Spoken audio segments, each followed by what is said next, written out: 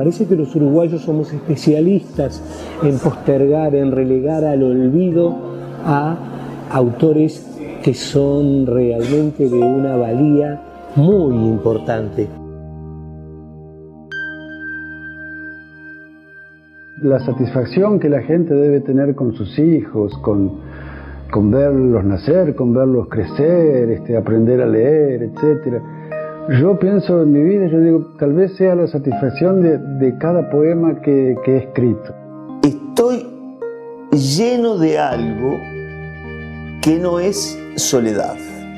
Prácticamente la mayor parte de mi vida en soledad y la compañía que tenía eran los cuadros humildes, geniales, pinturas mías. El enfrentarme a una tela es algo que me encanta, por supuesto, pero la tela en sí no es más importante que enfrentarme a un ser humano. El arte tiene que estar donde está la gente, ¿viste? donde está eh, en la escuela, en un liceo, en un estadio.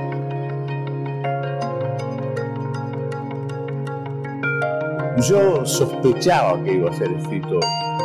No planifiqué mi vida, sino que se fue dando absolutamente en forma solitaria.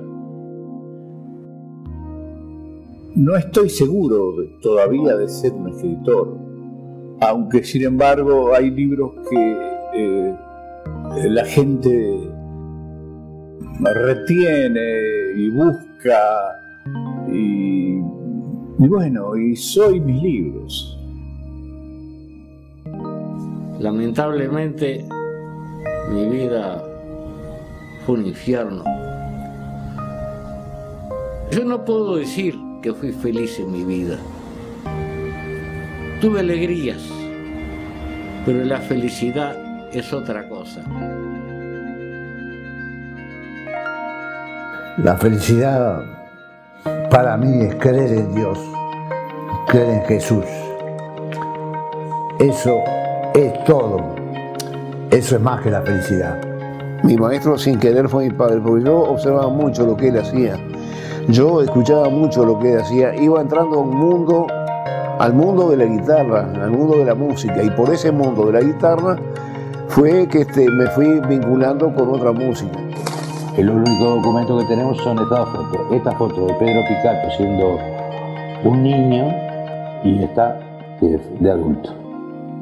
En una, en dos, en tres, en cien, en mil, la angustial seda sexual araña lo azul de su equilibrio, la noche sol del sexo.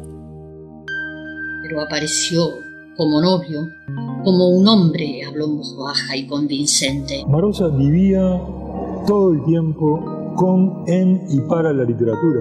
El personaje Parrilla va, va adquiriendo una dimensión mítica y se va transformando para la gente que lo rodea en una especie de dios. Álvaro Figueredo es sin duda uno de los mayores poetas uruguayos. Porque representa en sí mismo toda la evolución de la poesía uruguaya a lo largo del siglo pasado. Vi el rastro, vi el ojo de la bestia mirándome, vi el hueso con las alas plegadas, pero no vi la burla caminando. No lo memorizo a la sombra de las cañas, sitio donde pasó largos veranos. Y en la red de cloacales, trincheras, ciudadanas, quedan algunos huesos, solitarios o no. Nadie impedirá un domingo por la tarde que desarme lentamente mi mentón. Invadiendo mis hábitos, mi oficio, mis trajes, mi alimento, mis retratos. Una mano cayéndose vacía, igual que una palabra muerta.